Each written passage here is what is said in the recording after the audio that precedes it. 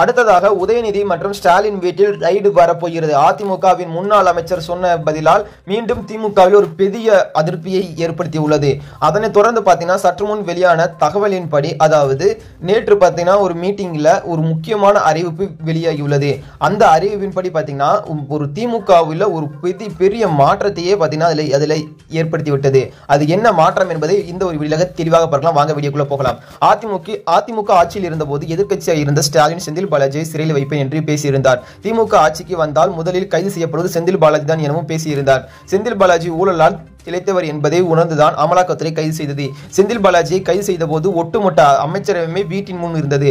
ஆனால் பொன்முடியை விசாரணைக்கு அழைத்து செல்லும் போது யாருமே செல்லவில்லை என்றார். முப்பதாயிரத்து முப்பதாயிரம் கோடிக்கும் மேல் ரகசியம் வெளிச்சத்திற்கு வந்துவிடும் என்று அமலாக்கத்துறையால் கைது செய்யப்பட்ட அமைச்சருக்கு இலாக்கா இல்லாத அமைச்சர் பதவி கொடுக்கப்பட்டுள்ளது. திமுகவிற்கு உழைத்தவர் பாடுபட்டவர்களுக்கு இலாக்கா இல்லாத அமைச்சர் பதவி கொடுக்க வேண்டியதானே எனவும் கேள்வி எழுப்பினர். நேற்றைய தினம் கள்ளக்குறிச்சியில் மோடியையும் அமலாக்கத்துறையையும் பார்ப்பதும் பயமில்லை என்று அமைச்சர் உதயநிதி சவால் விடுகிறார். சவால் விடுகிறாரா? அடுத்து உதயநிதி வீட்டில் உதயநிதி மற்றும் ஸ்டாலின் வீட்டுக்கு தான் ரைடு வரப்போகிறது. உனக்கு அரசியல் தெரியுமா? என்று கேள்வி எழுப்பினார்கள். அதிமுக பொதுச்செயலர் எடப்பாடி பழனிசாமி நினைத்தால் கூட ஒன்றும் செய்ய முடியாது என்று உதயநிதி பேசியுள்ளார்.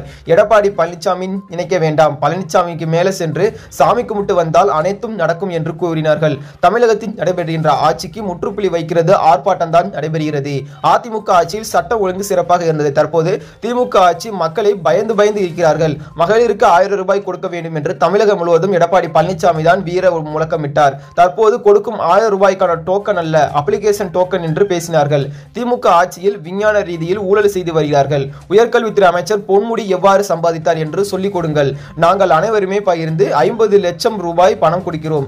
அதை வைத்து ஐநூறு கோடி லாபம் சம்பாதித்து குறித்து கொண்டுங்கள் என்று கிண்டலடித்தார் காவேரி ஆற்றில் தண்ணீர் திறந்து விட வேண்டும் என்று துரைமுருகன் டெல்லிக்கு சென்றிருக்க வேண்டாம். தமிழக முதலமைச்சருக்கு கர்நாடகாவிற்கு சென்றிருந்தாலே காவேரி தண்ணீர் திறந்து விடுவாள் என்று கோரிக்கை வைத்திருக்கலாம் என்றார். அது மட்டும் இல்லாமல் அடுத்தடுத்து பார்த்தீங்கன்னா செந்தில் பாலாஜி தொ- தொடர்ந்து அடுத்து ஒரு ரைடு வந்து விட்டது. அதனைத் தொடர்ந்து பார்த்தீங்கன்னா கூடிய விரைவில் ஸ்டாலின் மற்றும் உதயநிதி வீட்டிற்கு ரைடு வர வாய்ப்புகள் இருப்பதாக அரசியல் வட்டாரங்கள் தெரிவிக்கின்றனர். அதனைத் தொடர்ந்து பார்த்தீங்கன்னா திமுகவின் முக்கிய அமைச்சர் திமுகவின் முக்கிய அமைச்சராக இருக்கும் அனைத்து வீடுகளிலும் அடுத்தடுத்து ரைடு நடக்கலாம் என்றும் பேசப்பட்டு வருகிறது. அதனைத் தொடர்ந்து அதிமுகவின் முன்னாள் அமைச்சர் வளர்மதியுமே அடுத்து ஸ்டாலின் வீட்டுக்கு தான் ரைடு வர வாய்ப்புகள் இருப்பதாக கூறியிருக்கிறார். இதே மாதிரி அரசியல் செய்திகளை தெரிஞ்சு கொள்ள எப்போதுமே நம்ம சேனலோடு அனைவருக்கும் நன்றி வணக்கம்.